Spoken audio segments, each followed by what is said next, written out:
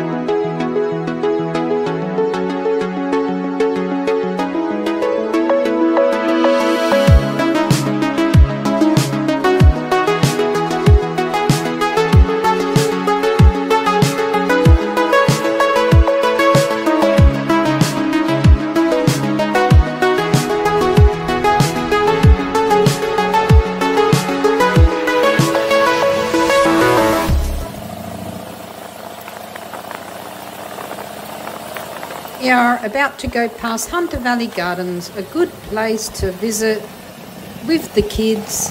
They've got lots to see and do there.